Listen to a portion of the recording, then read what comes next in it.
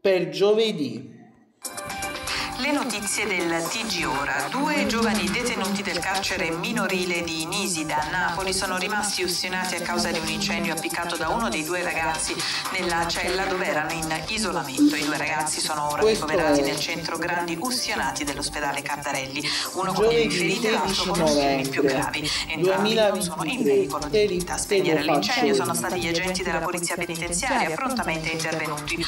Uno di loro è stato colto da malore ed è svenuto. Le sue condizioni comunque non destano preoccupazioni.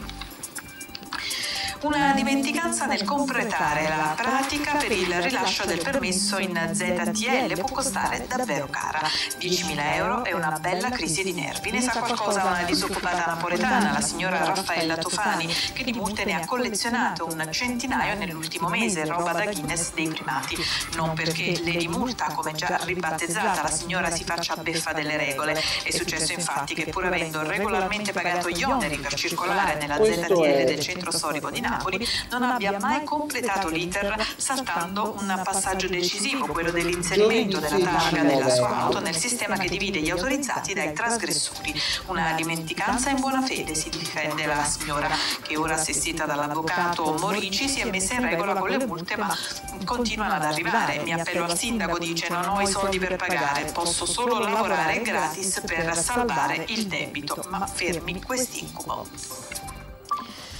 Iniziano ufficialmente le operazioni di ingresso negli appartamenti realizzati a via Gobetti, a via Labriola e alla piazza della socialità per le sette famiglie che traslocheranno dalle vele di Scampia, precisamente dalla vela verde da quella celeste, verso case nuove di zecca e anche verso una nuova vita lontana dal degrado di quei giganti, giganti malmessi e pericolosi delle vele di Scampia.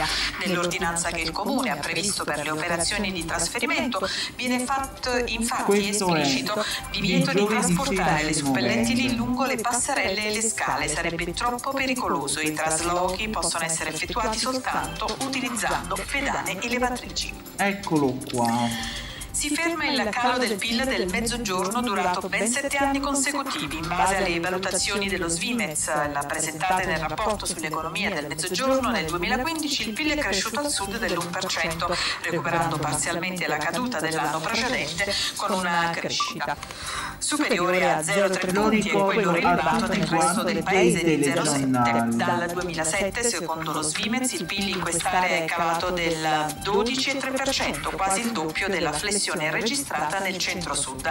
La crescita nel sud ha beneficiato nel 2015 di alcune condizioni peculiari, una annata agraria particolarmente favorevole, la crescita del valore aggiunto nei servizi, soprattutto nel turismo, legata alla crisi geopolitica nell'area del Mediterraneo che hanno dirottato parte del flusso turistico verso il mezzogiorno e la chiusura della programmazione dei fondi strutturali europei 2007-2013 che ha portato un'accelerazione della spesa pubblicata al loro utilizzo per evitarne la restituzione. Eccolo qui. I carabinieri del nucleo operativo radiomobile della compagnia di Casoria hanno arrestato in flagranza per furto in abitazione, violenza e resistenza pubblico ufficiale cinque uomini di etnia rom, tutti domiciliati presso il campo nomadi di via San Salvatore a Casoria e tutti già noti alle forze dell'ordine. Sono stati fermati dai carabinieri per un controllo mentre si trovavano a bordo di un'auto ma non hanno rispettato l'alta. Ne è nato l'inseguimento. Eh, I fuggitivi sono stati bloccati grazie all'intervento di altre pattuglie dei carabinieri giunte in supporto. I militari hanno rinvenuto nell'auto gioielli d'oro, bigiotteria, guanti, scaldacollo e numerosi attrezzi da scasso. I gioielli sono risultati rubati poco prima in un'abitazione di una trentenne di Capua, la cui refurtiva e poi a cui la refurtiva è stata restituita alla legittima proprietaria. Gli arrestati sono stati tradotti nel carcere di Santa Maria Capovedere. E 15 anni fa la partita di addio al calcio per Diego Armando Maradona, la bombonera di Buenos Aires, scesero in campo la nazionale argentina e una selezione di campioni, ma i 50.000 sugli spalti erano naturalmente tutti per il Pibe d'Oro.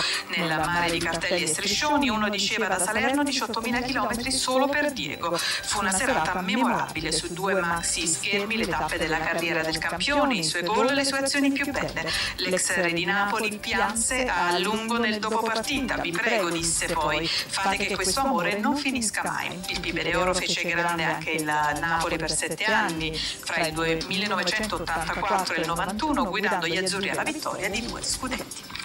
È tutto per questa edizione, grazie per essere stati con noi come di consueto prossimo appuntamento Questo è. tra un'ora circa più tardi. Adesso stacco.